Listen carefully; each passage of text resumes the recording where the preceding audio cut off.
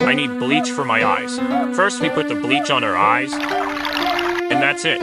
We will no longer have that cringe meme in our head and eyes. Ah!